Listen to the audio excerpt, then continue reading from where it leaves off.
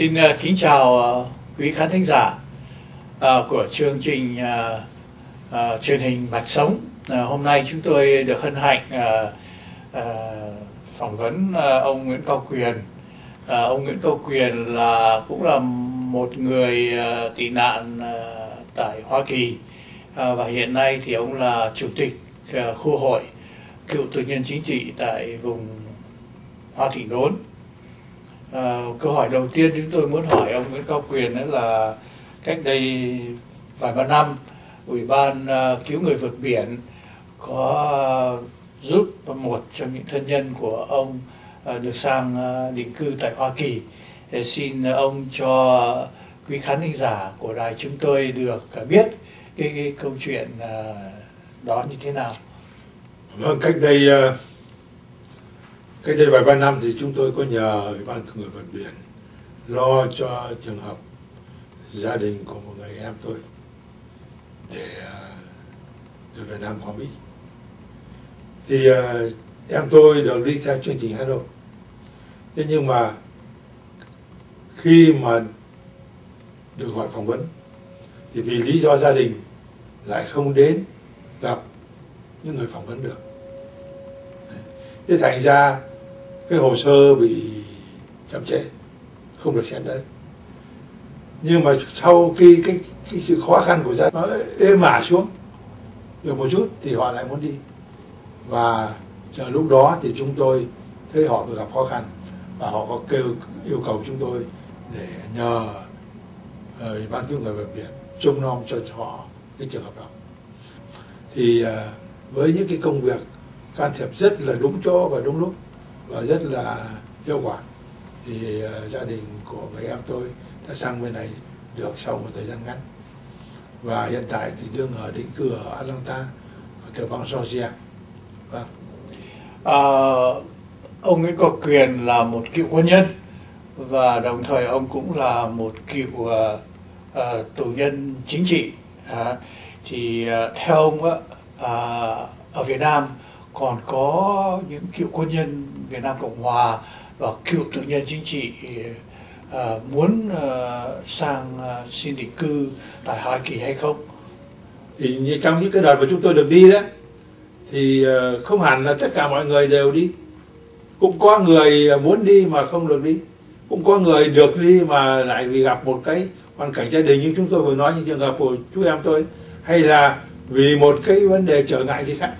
mà không có thể ờ, đến mà làm cho hài lòng cái người phỏng vấn. Thành ra cũng bị cái hồ sơ vẫn bị rớt lại. Thì cái số người đó không phải lý. Thì ban cứu người bờ biển đã can thiệp cho một lần trước đấy mấy năm. Rồi thì ờ, tôi thấy rằng bây giờ lại, lại là cái chuyến bay thứ hai để cho những người còn sót lại thì ờ, có thể là sang Hoa Kỳ định cư thì tôi đó thấy đó là một trường hợp tốt và những cái số người mà cần phải giải quyết cho họ để họ sang bên này không phải là ít đâu. Sẽ, sẽ, sẽ, sẽ đã có đã được sang rồi nhưng mà những cái còn lại rất nhiều người chưa được sang. À, trong cái thời gian à, 1990 thập niên 90 đó à, trong cái chương trình à, ODB đó thế thì à, có à, tòa lãnh sự Hoa Kỳ có mời à, một số nhân viên của chính quyền Hà Nội đến để làm thông ngôn. Đấy thế thành ra có nhiều người họ không dám trả lời những câu hỏi ờ, thật của ờ, nhân viên Hoa Kỳ thì ông có nghĩ là cái đó là một cái trở ngại lớn cho một số người khi mà họ được phỏng vấn, mời đến phỏng vấn hay không? Cái đó là một cái, không những là một cái trở trở ngại lớn đâu, mà nó còn là một cái sự nguy hiểm đó. Là vì trong cái trường hợp, vì một cái lý do gì đó mà họ không được đi mà lại họ nói những cái điều gì và những cái người đó họ biết là không có bằng lòng với chính phủ cộng sản ở Hà Nội thì họ rất là nguy hiểm. Và lúc bây giờ cái thời gian đó cái sự đàn áp của cộng sản đối với người dân ở Việt Nam ấy nó nặng nề lắm. Là họ muốn lùa ai vào tù là họ lùa. Không phải một cá nhân đâu họ lùa như đàn vịt vào tù ấy vâng. Đấy. Thế thành ra cái trường hợp đó là rất là nguy hiểm. Không biết là người Mỹ có ý thức được cái trường hợp đó không? Thế nhưng mà cái đó là nếu mà không có cái đó nữa nếu mà bây giờ tình trạng phỏng vấn bây giờ không có cái nữa nữa thì là rất tốt cho những người được phỏng vấn vâng ờ, dưới cái chương trình HHA thì uh, chính phủ Hoa Kỳ đã quyết định là là dùng những cái người Việt ở hải ngoại để mà làm thông ngôn chứ không có giống như cái thời năm 1990 nữa. Uh,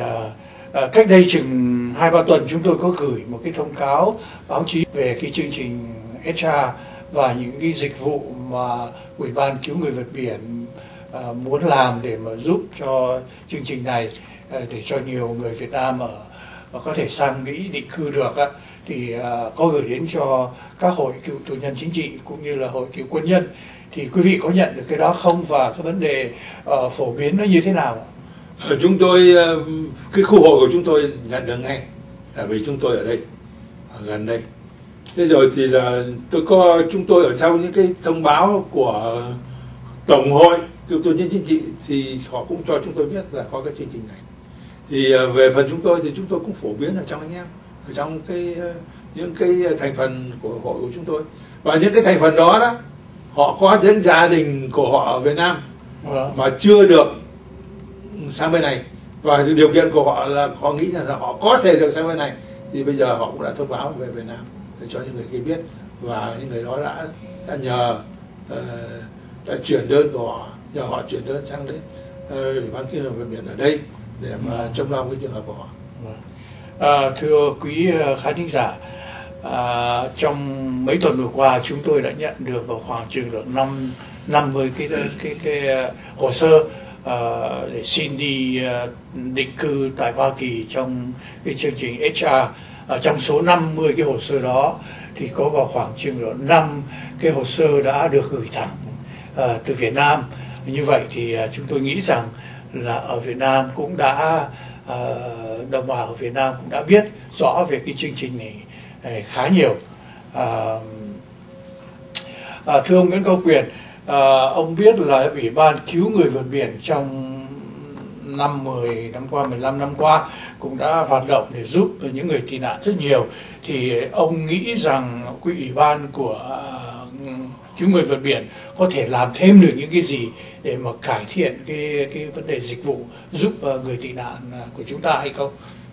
Ờ, trong cái thời gian mà ủy ban cứu người vượt biển mà làm việc để mà uh, giúp đỡ những cái người được sang bên này thì tôi nghĩ rằng thì là ủy ban lĩnh người biển đã có một số những rất là nhiều kinh nghiệm để mà đề nghị với lại chính phủ mỹ để giúp những người ấy đi sang đây. Thì có lẽ không có một cái tổ chức nào mà lại có thể làm việc hữu hiệu hơn vì lý do là có một số cái kinh nghiệm dày dặn như thế. Thì ủy ban cứu người cứu người vượt biển bây giờ là lần này đó thì cũng có có thể đề nghị với lại chính phủ mỹ theo những cái kinh nghiệm của mình đã làm trong cái thời gian trước thì ờ, để cho cái công việc này nó được thanh thoát hơn. Ờ, ờ, cảm ơn ông Nguyễn Quang Kiều, Nguyễn Công Kiều rất nhiều. À, thưa quý khán thính giả,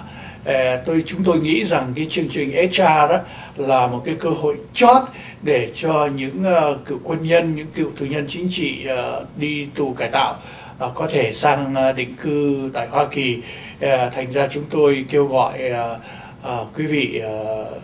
giúp đỡ chúng tôi uh, trong ủy ban cứu người vượt biển để có phương tiện để uh, có thể giúp cái, cái đồng bào của chúng ta sang uh, tị nạn tại Hoa Kỳ một cách dễ dàng. Uh, chúng tôi có thể uh, uh, cần